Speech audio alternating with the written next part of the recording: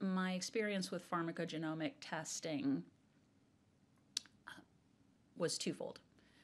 At first, I can honestly admit that I was not very excited or enthused about the significance of this testing to my own personal health care and my own healthcare decisions. Once I received those results, I experienced an aha moment, not just for myself, but for my practice.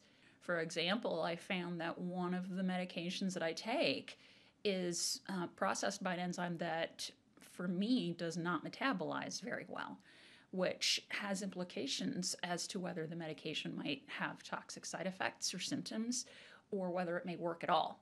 And so when I went through my profile and I looked at my enzyme activity, I realized why certain medications never seem to work for me and why others um, I'm very sensitive to.